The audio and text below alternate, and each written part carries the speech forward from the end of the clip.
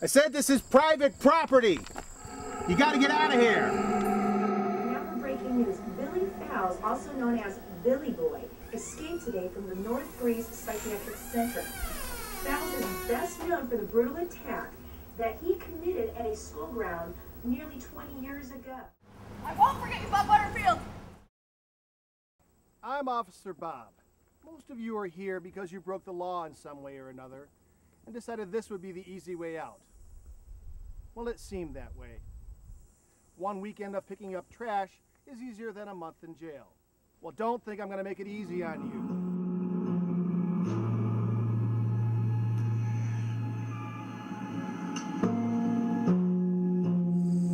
Wait a second. Weren't there seven of you yesterday? Who are we missing?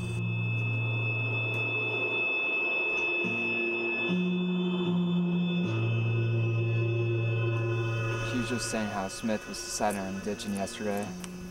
We'll see how they like their freedom for now. What is going on?